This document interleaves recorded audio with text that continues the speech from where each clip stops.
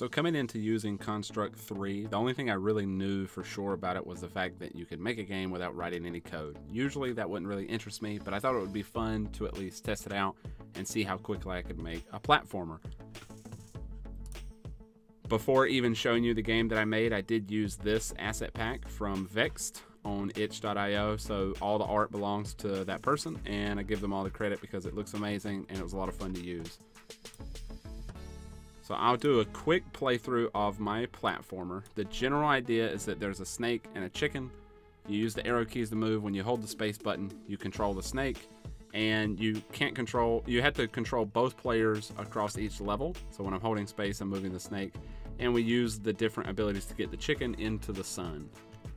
So the gimmick is that I can't get everywhere as just the chicken. I have to control the snake, bring the snake over, but the trick is that when I let go of the control of the snake, it freezes as a solid, and I can use the snake as a platform to get the chicken across. So here, the chicken can't make it across the gap without the snake, but if I control the snake, then I can jump across, freeze by letting go of the spacebar, and then take the chicken across.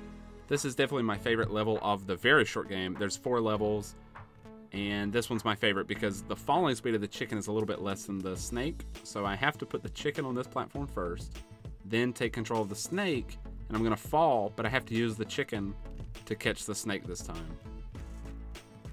And then get the snake to this platform, then we just have to let the chicken die, and then bring the chicken back. I guess I didn't need to go to the platform to begin with. Take control of the snake, and do the same thing as in the other levels, bring the chicken across to the sun. This level's not too hard, but it can be a little tricky just because of the, the jump timing.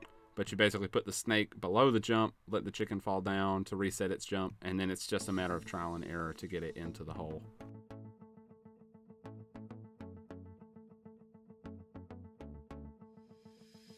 That's the end screen. You can still bounce around as a chicken, but nothing really happens. Wow, you're awesome. Thanks for playing. So in order to create a platformer, I'll just go into one of my one of my levels here if I was going to create a platformer, let's pretend this wasn't already here. You just go through a, a flow of adding an object. So insert new object. Then you find one that matches what you think you want. Usually it's probably going to be a sprite. Once I have a sprite and I add it to the game, let's just imagine that I fill it with something. So we have the sprite then everything gets a not much more complicated, but just a little bit more complicated. We add behaviors. There's this intuitive list of behaviors. You just kind of look through and find one you want. Platform is what you'll use for for the player characters and the I guess the enemies for a platform game.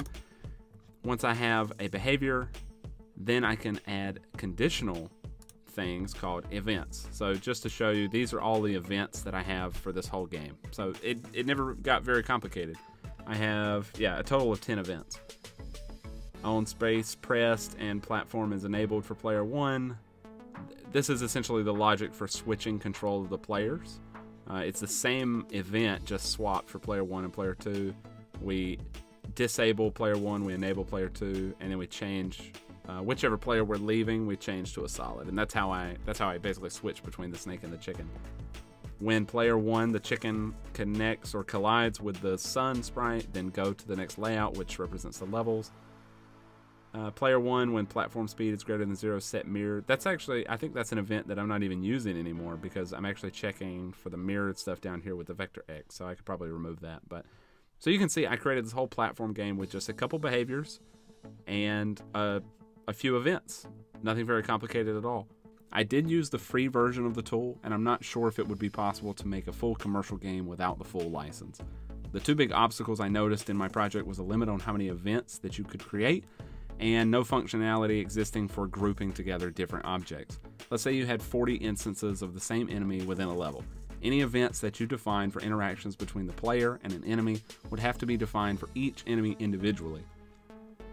Even if you're willing to spend the time connecting all of those events to each enemy, you will eventually run out of events anyway.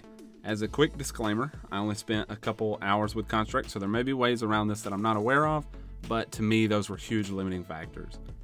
Overall, I did have a lot of fun and I really enjoyed the tool, so I can definitely see where it would be worth the yearly subscription to some people, especially if you're not interested in coding. I will probably return to Construct 3 in the future for small projects, quick prototypes, things like that. And when I do, I'm excited to learn more about the functionality because I'm sure that there is a ton out there that I didn't even touch on at all. If you enjoy watching this video, remember to hit the like and subscribe button. Thank you for watching, and I hope I see you in the next one.